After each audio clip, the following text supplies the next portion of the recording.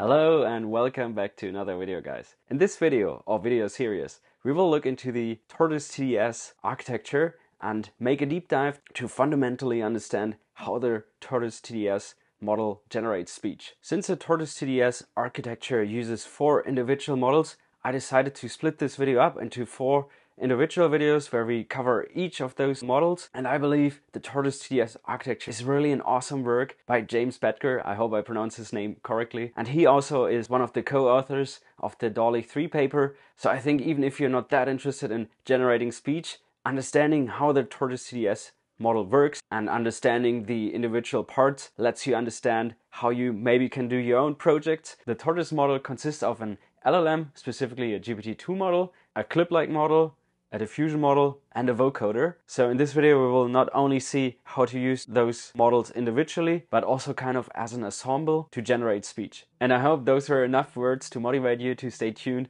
and follow along this journey or this series of videos. And yeah, let's just jump right into it. But before we start, I have great news for you guys. One of you can win this NVIDIA RTX 3080 Ti GPU with 12 gigabytes of VRAM, 320 tensor cores, and 912 gigabytes a second memory bandwidth. And what do you need to do to win this GPU? First, attend to NVIDIA's 2024 GTC conference, and second, send me a screenshot as a proof of attendance. That's it. The GTC conference is happening online and in person. In case you haven't heard about the GTC conference yet, the GTC conference covers a wide range of topics in the field of AI, giving you a great idea of what's coming next in AI. There are more than 600 sessions and people from all major players in the field of AI like Meta, OpenAI, Google DeepMind, NVIDIA or Runway ML will be holding talks and sessions. And personally, I found the What's Next in Generative AI the fastest stable diffusion in the world, as well as the human-like AI voices, exploring the evolution of voice technology. Talks very interesting. And yeah, good luck to everyone and don't miss out on this one. Alright, and before we start, I want to first, for the rest of this video, give you an idea or like an overview of the overall architecture of the Tortoise TTS model, which we can already see here.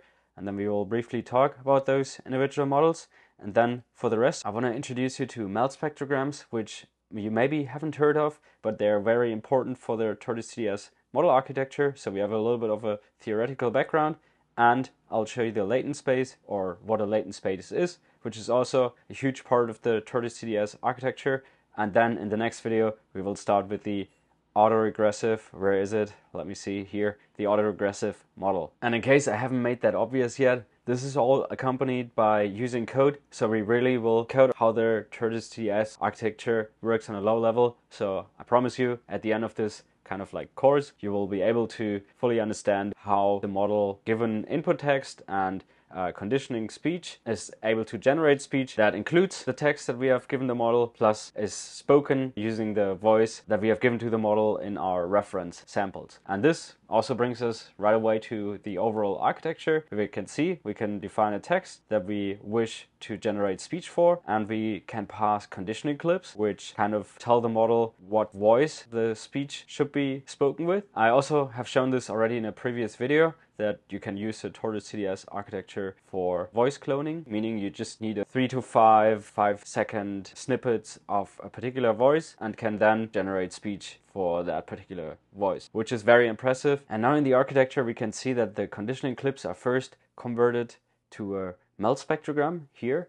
So we have an waveform input, which is kind of like a continuous signal. You can imagine it like that. And then we transform it to a MEL spectrogram. And I will later explain them in more detail. But the quick summary is they contain still most of the information that we have in our waveform, but are around a 256 times compression, which make them way more efficient on the data level compared to the raw waveform audio that we have here. And we will then pass this MEL spectrogram to the autoregressive transformer, including the input text as inputs in theory, we will pre-process both before we pass them to the autoregressive transformer, but more on this in part two when we actually cover the autoregressive model. And the autoregressive model then outputs codes and maybe that's the first very confusing part where those codes coming from and what are these codes So this one is the inference architecture, meaning we can see how the speech is generated. But during training, there's one model in this whole mix or ensemble that is not shown here, which is the variational autoencoder, specifically a vector quantized variational autoencoder. And an autoencoder usually does the following. So we pass our input, which in our case would be a MEL spectrogram, and then we downsample or encode our input to a smaller low dimensional code and have this as our encoder and then we have a decoder who deconstructs our code to our output, which then is the same dimensionality as the input and would also be a MEL spectrogram. So given a MEL code or MEL token, we can reconstruct a MEL spectrogram. And what we achieve with this is having a lower dimensional code, which further compresses our MEL spectrogram. So again, we kind of save some compute by lowering the dimensionality of the input data. And you might be wondering now if those codes here would be in the continuous space and we're using an autoregressive transformer who generates tokens, or we know it from ChatGPT as generating text. So that would be a mismatch, right? So this is where the vector quantized variational autoencoder comes into place where we can see here we have this continuous space in which we encode our input data and then we quantize to a specific embedding space also called codebook um, that's why we call them MEL codes or MEL tokens and these embeddings are learned and we kind of aggregate or quantize our continuous latent codes in this space to specific discrete embedding tokens or codes. So it's a little bit like a cluster, I would imagine this. So instead of having like a smaller circle where all different points could lay in, we just summarize them with one specific embedding that kind of represents all of them very good, which allows us to compress our MEL spectrograms to discrete MEL codes or MEL tokens. And in the case of the Tortoise TTS architecture, those codes are a four times compression of the MEL spectrogram, so we even further lower the dimensionality of the raw audio. So we have 256 times compression with the MEL spectrogram and then times 4 with the MEL codes. So the MEL codes here are uh, a 1024 times compression of our raw audio, which we have here as a waveform. And what this allows us, giving the text and the conditioning MEL spectrogram,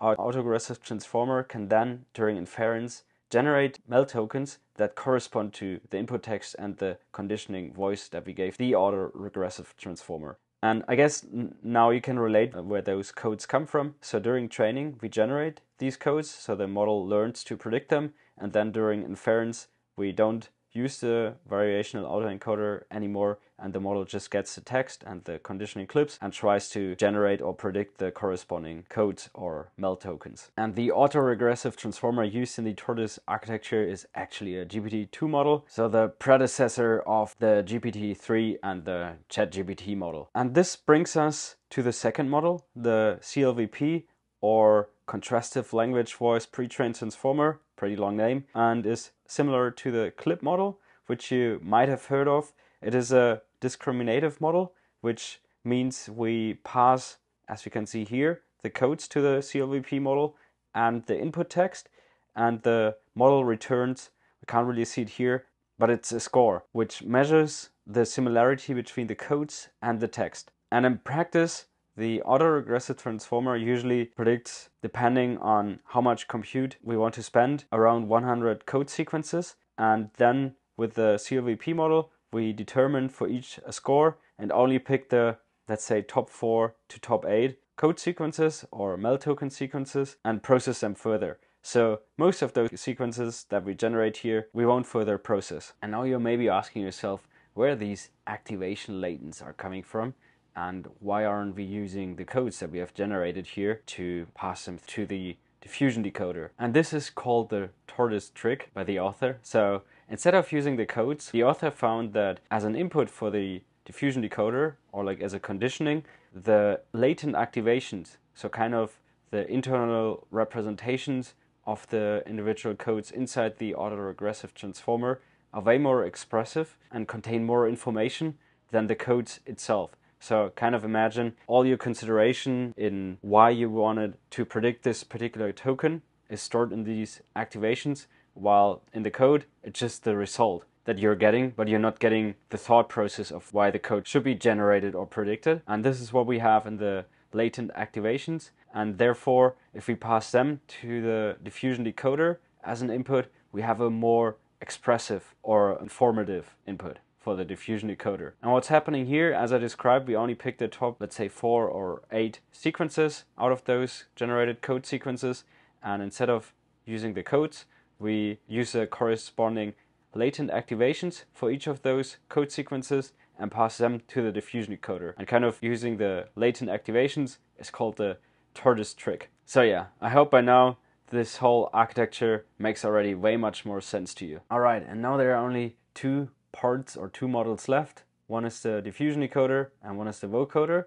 And for the diffusion decoder, we get the MEL spectrogram, which characterizes the voice that we would like to generate speech for as an input. And the second input are the internal representations of our MEL codes inside the autoregressive transformer, which are very informative and allow the model as a guidance to generate a MEL spectrogram again. As you can see, we have the waveform data level and then we compress it to MEL spectrograms, pass it in here. Here we are even four times more compressed on the MEL codes level and then we use the diffusion decoder here to generate a MEL spectrogram, so kind of four times super resolution or upsampling. And yeah, that's pretty much it for the diffusion model or diffusion decoder. And later in part four, we will look more into how the diffusion model then actually works and how we pre-process both signals or conditionings here. And then as a final part, which was actually not trained as part of the overall tortoise architecture. So this model was trained, this model was trained, the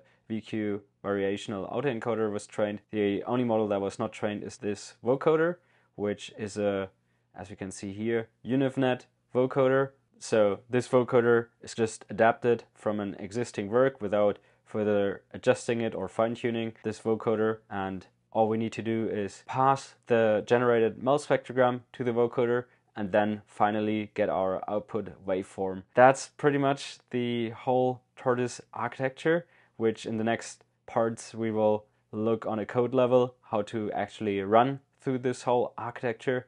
But I thought it definitely makes sense to first get a theoretical understanding how this all works together and allows to generate speech. And for the end of this part, I briefly want to talk about the MEL spectrogram and the latent space because both are essential for the tortoise TTS model to be able to generate speech. And I already mentioned earlier that the MEL spectrogram inside the Tortoise TTS architecture allows a 256-fold compression of the raw audio waveform data. And one very helpful characteristic of the MEL spectrogram is that it can reproduce the characteristics of human auditory perception in a very efficient format. And to get a better idea about this, Leland Roberts has written a very nice article. I don't want to go fully through this six minute read, but kind of briefly show you this is kind of the raw audio signal that we have that we sample with a microphone and then we apply a Fourier transform. I hope I pronounced this correctly.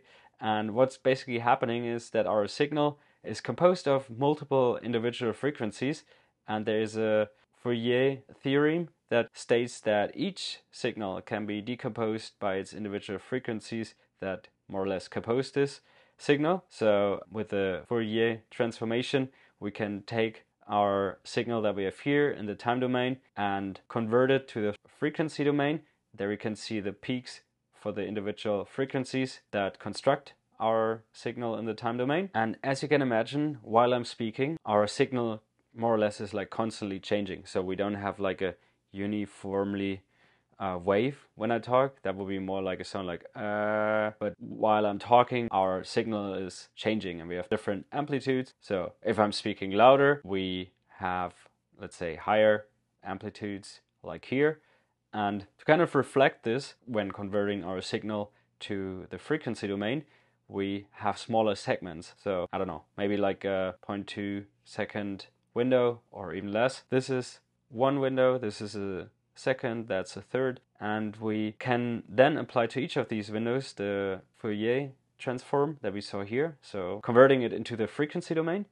And with that, we get a spectrogram, which looks like this. And one thing that researchers have found in 1937, I think it was known before, but they proposed a unit of pitch such that the equal distances in pitch sounded equally distant to the listener. So it's based on the human hearing or human auditory system. And this is called the MEL scale, which is a logarithmic scale. So we as humans, we can tell the difference between lower frequencies way better than higher frequencies. And this is what the MEL spectrogram more or less does for us. So we have our continuous time signal and compress it in the spatial domain so we can see this is 15 seconds of audio just in one image. And neural networks or deep learning based models are able to achieve really great results using MEL spectrograms. So that's why they're used inside the Tortoise architecture because it has shown in research over the years that MEL spectrograms are really sufficient when working with speech data. Okay, and now let's have a look at the latent space and why we need something like a latent space.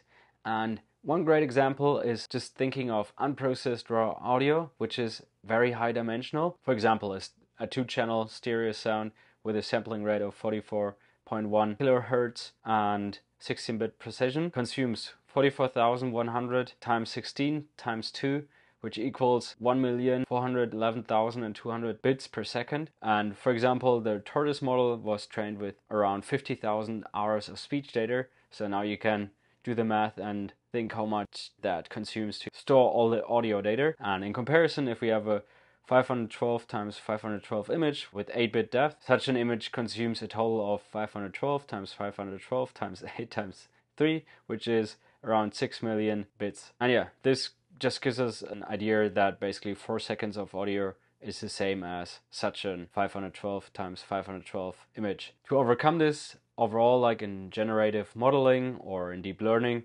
it is usually assumed that the high dimensional audio data or data overall can be effectively captured by a low dimensional representation, which is based on the manifold hypothesis. So, it's kind of imagine somebody would ask you how a person would look like. You know, you wouldn't describe it in pixel, and like we as humans work like in abstractions, right? So you would have some features like hair color, eye color, uh, I don't know, maybe shape of the nose, something like that. Something maybe that's also unique and stands out. The idea here is that we don't use all the individual pixels or all the audio information, but we rather compress it into a smaller, low dimensional space in which only the significant features are captured. So here we could say it encodes the essential features or variation of factors, which is a little bit more theoretical, in the high dimensional data. So for speech data, we could say such latent factors could be the intonation, the rhythm, pitch,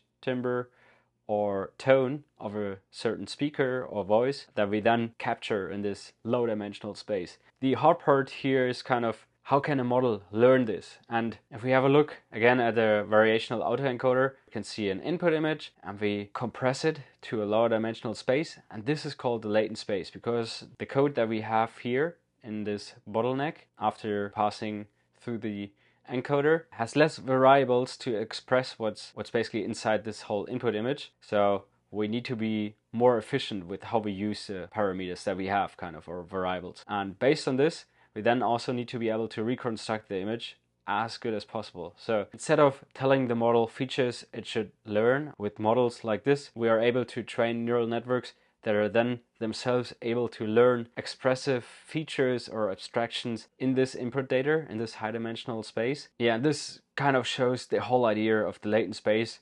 Yeah, that we kind of can compress or encode higher dimensional data into a lower dimensional space, and that from this lower dimensional space, technically, we can take samples and reconstruct them to a high dimensional space. Whenever you hear something like a latent vector, the latent space, that kind of means we have a mapping from our input sources, which could be speech data, into a more lower dimensional space that compresses our input data and represents features in our high dimensional space very efficiently. Yes, and that's it for part one, where we saw the overall architecture of the tortoise model and got some theoretical background, which is very helpful for the upcoming parts. And in the next part, number two, we will look into the autoregressive model and how to generate MEL tokens. And this will be our first pillar for generating speech using the tortoise architecture. Alright, I'm looking forward to seeing you in part two. Bye bye.